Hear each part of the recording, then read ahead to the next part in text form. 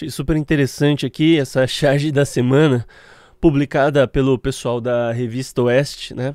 Então aqui mostra um cara morrendo de frio, né? É, com extremas dificuldades em ficar onde está, sem energia elétrica e falando aquecimento global fecha as, as usinas de carvão.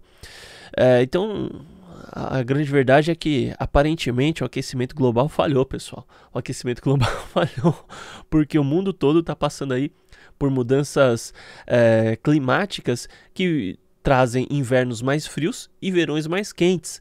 Então você vê que gradativamente o discurso está mudando.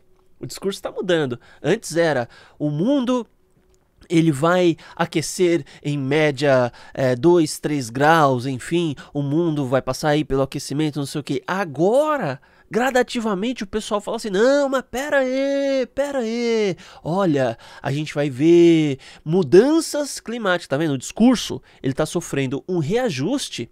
Porque as previsões que foram apresentadas, infelizmente ou felizmente, elas não se cumpriram.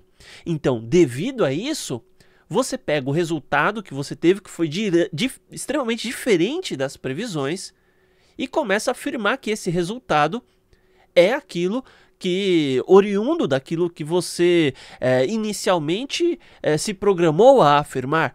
Né? Poxa, eu lembro que eh, na época de escola, né, a gente é, acabava vendo o tempo todo matérias de revista. Naquela época eu via revista e não, e não tinha nem acesso à internet ainda, né?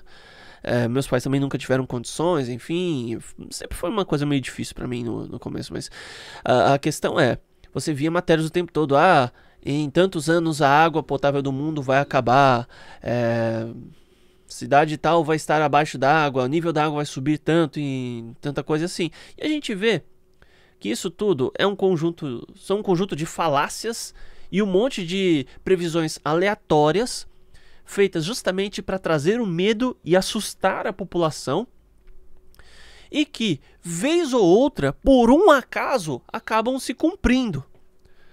Não por realmente ser uma previsão válida. A questão é, eu posso fazer a previsão de todos os jogos aí de um determinado campeonato de futebol, com todos os placares, e faço isso sempre que todo campeonato acontece. Vez ou outra, alguma coisa eu vou acertar. Vez ou outra eu vou falar, vai ser 0 a 0 no dia tal. Ué, e acontece de ser um 0 a 0 Ah, foi 1 a 1 foi 2 a 1 E acontece. Isso é fato. Agora, prever um 7 a 1 por exemplo, aí ninguém prevê. Isso, é, isso daí é verdade. Então, isso daqui representa, em suma, a luta de, da, daqueles que, é, como, di, como diria o Olavo de Carvalho, aprendem a acreditar naquilo que ouvem dizer e não aquilo que realmente vem. A, a, frase não é exatamente essa, mas tenho certeza que o sentido se fez valer aqui aos seus ouvidos.